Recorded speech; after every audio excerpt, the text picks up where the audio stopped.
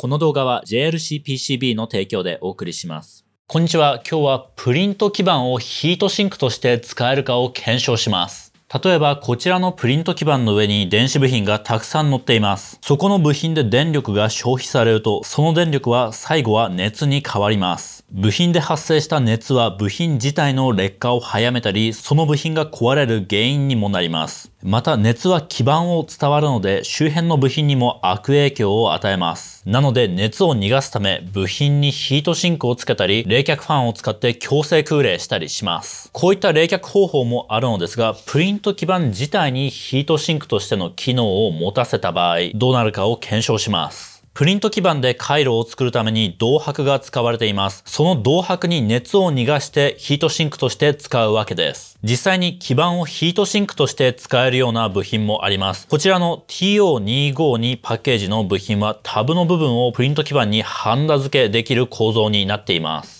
今日はこれらの部品と基板を使って銅箔の面積と発熱についてその関係を追っていきます。検証を始める前に今日のスポンサーの JLCPCB の紹介です。どうぞ。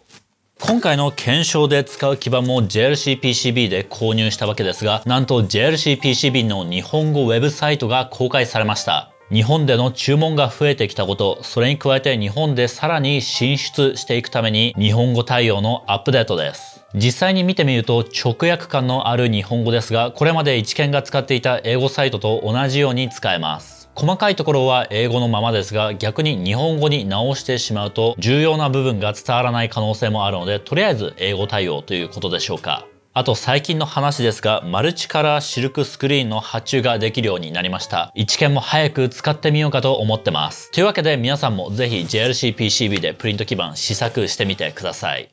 こちらが今回の検証で使うプリント基板です。この部分に TO252 パッケージを実装します。実際に部品を実装した基板がこちらです。今回の検証では銅箔の面積が異なるプリント基板をいくつか用意しました。今回熱源としては3端子レギュレーターを使いますが、3端子レギュレーターのタブ面積を 1S とします。そして銅箔の面積が 1S、3S、10S のものを用意しています。さらに銅箔面積が 10S のものについては片面基板と両面基板を用意しています。それに加えてビアの数が異なるものも用意しました。図を使って説明するとこんな感じです。緑色の部分がプリント基板の機材部分、そして赤色は銅箔、黒色の部分は電子部品で今回は3端子レギュレーターを使います。そしてこちらから片面基板、両面基板、こちらはビアなしのものになります。両面基板でもビアがあるもの、そしてビアの数が多いものを用意しています。これらの基板でどのくらい温度変化があるかを見ていくわけですね。まあ、大体ですね、皆さん予想はついているかと思います。大方の予想になりますが、片面基板が一番放熱の条件としては厳しい。両面基板の場合、放熱は少し優しくなります。ただ、両面基板でもビアのないものは熱的な結合が弱いので、放熱は若干厳しいかなといったところです。そして、ビアがついているものについては、ビアの数が多ければ多いほど熱的な結合は高いわけですから、反対側の銅箔に熱がよく伝わる。ということは大体どうなるかというと、皆さん予想ついているのではないでしょうか。実際にどのくらいの差が出るかを検証していきます。ちなみに今回は熱源として3端子レギュレーターを使いますが、そこで発生する電力損失はこちらの式です。負荷に流れる電流と出力の電圧は今回ほぼほぼ一定です。ですので、こちらの入力電圧を高くすれば3端子レギュレーターでの発熱は大きくなりますし、逆に入力電圧を低くすれば3端子レギュレーターでの発熱は少なくなります。今回3端子レギュレーターを選んだのはこの電力損失の調整がやりやすかったからです。では実際にこちらの基板を使って検証していきます。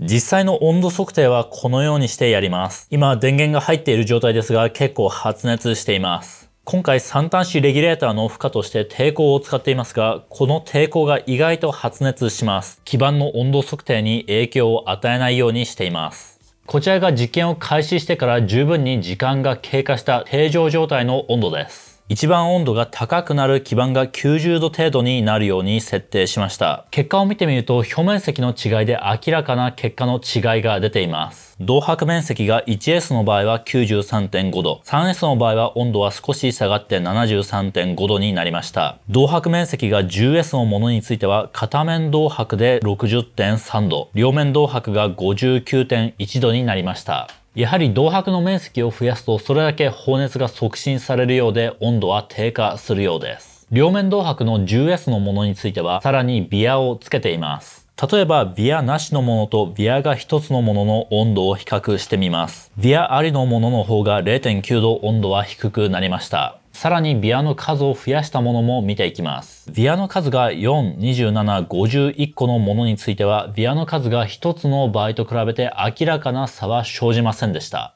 ここからは実験結果について考察していきます。今回の実験では銅箔の面積を増やすほど温度は低くなりました。これは銅箔の面積を増やすほど熱抵抗は低くなり、それが原因で放熱が促進されたからです。ここで熱抵抗というキーワードが出てきましたが、これが非常に重要です。これが今回の実験で使った基板の簡易的な熱回路です。電気回路ではなくて熱回路と言います。ここに2つ熱源があるのですが、その熱源から熱がどのように伝わるかを書いたのが熱回路です。電気回路と同じように計算できます。ここに抵抗のシンボルがありますが、これが熱抵抗です。熱がどれだけ伝わりにくいかを表します。こちらの熱回路と実物は対応しています。今回3端子レギュレーターで発生する損失は 0.625W に設定しました。つまりこのチップの部分でそれだけの熱が発生しています。そこで発生した熱がいろいろなところを伝わっていて、そして放熱されます。その伝わるところの熱の伝わりにくさが熱抵抗になります。ちなみに今回周辺温度は25度です。この周りの温度が25度一定としています。今回の場合ですと、チップで 0.625W の熱が発生しますが、これがどのように伝わっていくかというと、チップが乗っているリードフレームの部分にまず熱が伝わっていきます。今回はタブですね。でそのチップとタブの間の熱抵抗がまずこちらです。TO252 パッケージは基板にハンダ付けしました。なので、このタブの部分と基板の銅箔の間でハンダがあります。でそのハンダの熱抵抗はこちらです。タブからハンダ、そして銅箔に熱が伝わりました。で最後、こちらの銅箔がヒートシンクになっていますが、銅箔から外に向かってですね、まあ、熱が逃げていくと。そちらの熱抵抗がこちらの RH となっています。ただ実際にはこちらの基板の方に熱が伝わっていってしまったり、そして基板の裏側の方にも熱が伝わっていきます。そういったものも全てまとめて今回はヒートシンクの熱抵抗としています。こちらの熱回路と電気回路の対応ですが、熱回路で発生している損失は電気回路での電流に対応します。で熱抵抗は電気回路での抵抗同じです。そして温度については電圧に対応しています。ここまで分かっていると、プリント基板ヒートシンクの熱抵抗が計算できそうなので、実際にやってみます。計算を簡単にするためにいろいろ過程を置きたいと思います。まずこちらのハンダ部分の熱抵抗は他の部分の熱抵抗と比べて非常に小さいとします。つまり、これが成り立つと仮定します。ということはどうなるかというと、こちらのハンダ分の熱抵抗が熱回路から消え去ります。これは電気回路の計算でもよくやるテクニックです。極端に小さい抵抗は短絡として扱いますし、極端に大きい抵抗は解放として扱います。なのでタブの温度とヒートシンクの温度は同じとなります。そしてもう一つ TO252 パッケージのタブの部分とモールド部分の温度は同じとします。実際にはですね、ここにも熱抵抗があったりして同一の温度とはならないのですが、今回は簡単のために温度は全て同じと仮定します。簡単な計算にはなりますが、こちらの 6mm×7 センチ四方42平方ミリの銅箔の熱抵抗を計算してみます。まず熱回路の式はこちらです。このパッケージのタブの温度イコールこちらの周辺温度をまず足すと。今回は25度です。まあ、電気回路でいう電位の部分に当たります。そしてチップで発熱している P は今回 0.625W です。そのチップから熱が流れてきて、このヒートシンクの熱抵抗を掛け算します。そしていろいろ計算していくとヒートシンクの抵抗は108度パーワットになりました。ざっくり説明すると、こちらの基板の銅箔部分に 1W の熱を与えると108度程度温度上昇します。ここで一つ注意点があります。こちらの基板では銅箔から基板の緑色の機材部分にまで熱は伝わっていきます。108度パワーワットはその熱抵抗も含んだ値です。これは計算を簡単にするためにそういう風になってしまいます。ちなみに銅箔面積が 10S の片面基板だと熱抵抗は56.5度パワーワットになります。銅箔の面積が大きくなるほど熱抵抗は小さくなりました。参考のためにこちらの小型ヒートシンクの熱抵抗は40度パワーワット程度、部品の形状や実装方法は全く違いますが、基板でもこのくらいのヒートシンクと同じくらいの放熱ができることになります。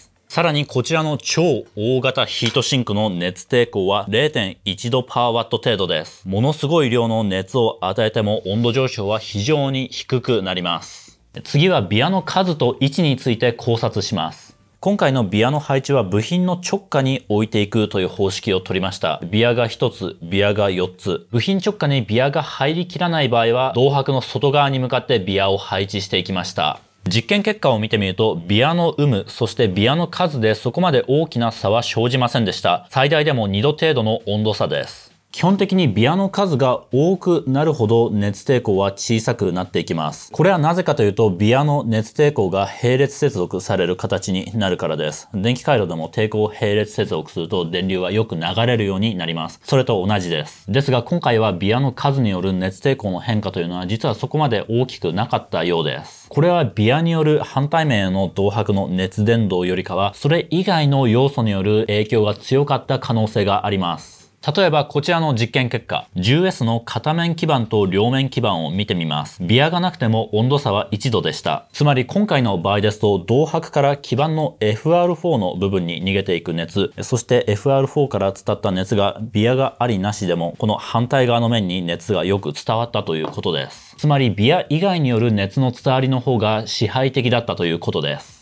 今回は銅箔面積が 10S でビアの影響を見てみましたが、基板の面積をもう少し少なくして 1S とか 2S で試してみると、ビアの影響のありなしが見えそうです。あと、ビアをどこに配置するのかも重要です。例えば、熱源の直下にビアを配置すれば、反対側の基板によく熱が伝わります。一方で、ビアを熱源から離したところで設置するとどうなるか。こうなると熱源から銅箔を伝わって、ビアに熱が伝わっていって、そして反対側の基板に、ま熱が伝わっていくという風になります。それ以外にも基板部分からの熱は伝わっていきますが、圧倒的にビアの熱抵抗の方が小さいです。熱源から離れたところにビアを配置するのは、熱伝導の点から言うとあまり効率的ではないです。今回は試していませんが、ビアの直径を太くすると、一つあたりのビアの熱抵抗は小さくなります。ただ、ビアの直径を大きくしてしまうと、単位面積あたりに入るビアの数が少なくなります。ですので、小さいビアを単位面積あたりにものすごい数入れていくのか、それとも太いビアをいくつか入れていくのか、こういったところも設計のパラメーターとして入ってきます。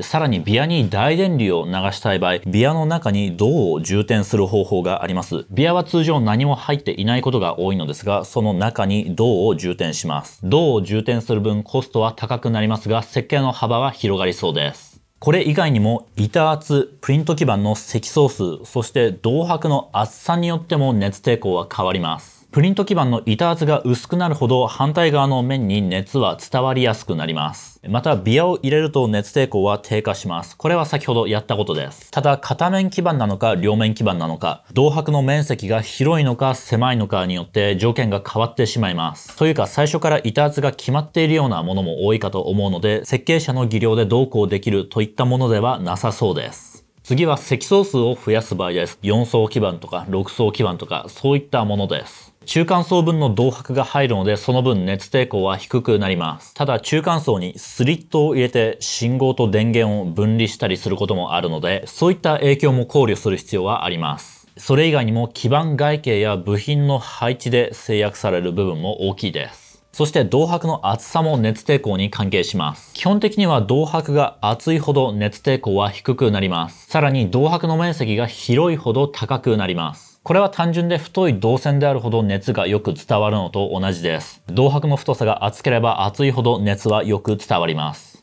というわけで今日はプリント基板をヒートシンクとして使ってみる検証でした。検証結果としてはプリント基板に十分に広い銅箔を入れることができればヒートシンクとしての役割を持たせられるということが分かりました。ただプリント基板をヒートシンクとして使うにはかなり高度な回路設計の能力、アートワークの技術が求められます。部品配置の制約、周辺回路や部品に温度が伝わってしまうこと、回路自体のノイズ性能に影響を与えることなども考えながら設計するのはかなり難しいと思いました。すでにご存知の方もいるかと思いますが、プリント基板の銅箔面積、そして熱抵抗なんかを考えながら設計してみると設計の幅が広がりそうです。もしこの動画が役に立ちましたらコメント、高評価、チャンネル登録よろしくお願いします。一見の公式 LINE もやっています。そこでしか出さない情報やセール情報など発信しているので、ぜひ友達になってもらえると嬉しいです。それでは最後まで動画のご視聴ありがとうございました。動画の最後になりますが、一見チャンネルを企業の PR に活用するのはいかがでしょうか？一見では製品の宣伝、工場見学、アウトリーチ活動、人材採用への活用など幅広く対応いたします。これ以外にもお気軽にお問い合わせください。動画を作成すればその後は再生され続けて動画が代わりに営業してくれます。やるなら早くをお勧めします。実績や詳細は概要欄にあるメールアドレス、ホームページからご連絡ください。それではご連絡お待ちしております。一見が作ったブレッドボード基板や配線済み LED 製品などの電子工作グッズを販売中です。詳しくは概要欄から。